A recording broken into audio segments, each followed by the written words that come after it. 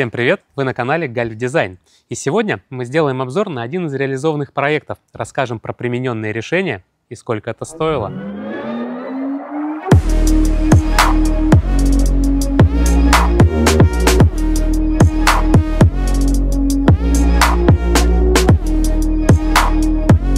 Дом в Ленинградской области общей площадью 130 квадратных метров с четырьмя комнатами, двумя санузлами и кухней-гостиной. Дом строился на продажу, и, как правило, в таких случаях принято максимально снижать себестоимость строительства, но в данном случае это не так. На этом объекте мы спроектировали и смонтировали инженерные системы, связанные с водой, и работа началась с проекта.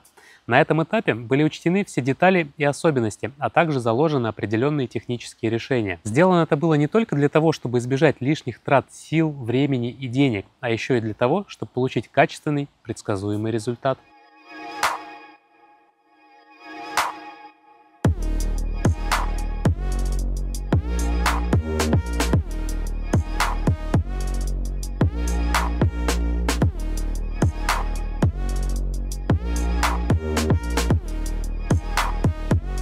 По всему дому выполнено только напольное отопление с краевыми зонами.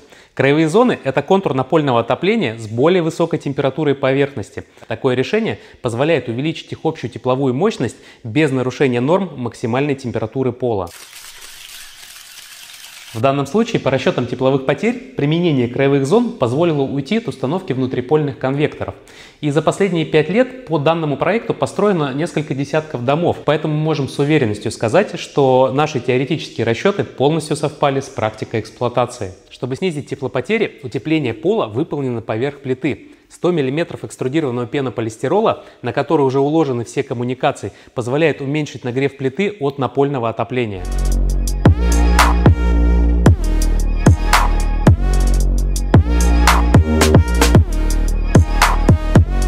Система водоснабжения в этом доме коллекторная. Это значит, что до каждой точки идет отдельная труба, и в зависимости от расстояния до коллектора и расхода потребителя используется труба разного диаметра. Например, для душа в данном проекте используется труба диаметром 20 мм, а для раковины и унитаза 16 Также в этом доме сделана система циркуляции горячего водоснабжения. Это значит, что до каждой точки с ГВС идет две трубы, по которым непрерывно циркулирует вода. Это сделано для того, чтобы при открытии крана сразу текла горячая вода, и не надо было этого ждать. Зачастую на системы циркуляции устанавливают водяные полотенцесушители, но мы стараемся уйти от таких решений, потому что приборы для открытых систем водоснабжения стоят дорого. Как альтернативу можно использовать электрические полотенцесушители, либо же сделать, как в этом проекте, и применить решение с электрической теплой стеной. Основной канализационный коллектор выполнен под плитой, а канализация подключена к локальной очистной станции и выполнена из обычных не малошумных трубы и фитингов. Из нашей практики применение малошумных компонентов не имеет особого смысла. Если хотите, напишите в комментариях, и мы сделаем отдельный выпуск на эту тему. Тут есть несколько моментов, которые обязательно нужно отметить. У нас сделана аэрация на кровлю с целью постоянной циркуляции воздуха для избежания замерзания, образования разрежений и запахов. Во всем доме смонтированы системы вентиляции и кондиционирования, но это не тема этого ролика, а сейчас мы переходим к обзору котельной.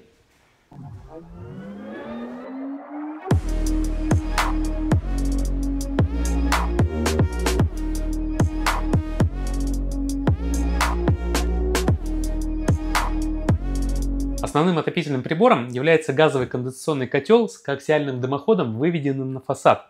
А для нагрева горячего водоснабжения используется бойлер косвенного нагрева объемом 200 литров.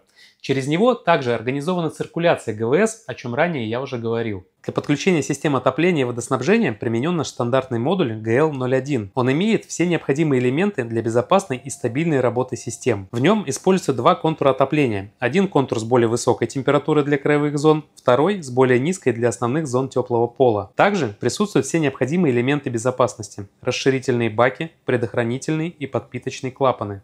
Это решение мы давно применяем для подобных проектов. Компактные размеры модуля позволяют интегрировать его практически в любое помещение котельной, а готовая сборка позволяет снизить сроки и стоимость монтажных работ. Также все распределительные коллекторы у нас находятся в помещении котельной. Коллектор рантовых зон, основной коллектор теплого пола, коллектор холодного водоснабжения, коллектор горячего водоснабжения и коллектор циркуляции горячего водоснабжения. По ходу ролика мы показывали вам стоимость реализации отдельных систем. Общая же стоимость реализации этого проекта составила примерно 1 миллион 100 тысяч рублей. Эта стоимость применима только к данному конкретному объекту. Она может варьироваться в зависимости от местоположения объекта, применяемых материалов и других факторов. А спецификацию на данный объект мы опубликуем в нашем телеграм-канале. Все монтажные работы на этом объекте были выполнены нами за 8 рабочих дней.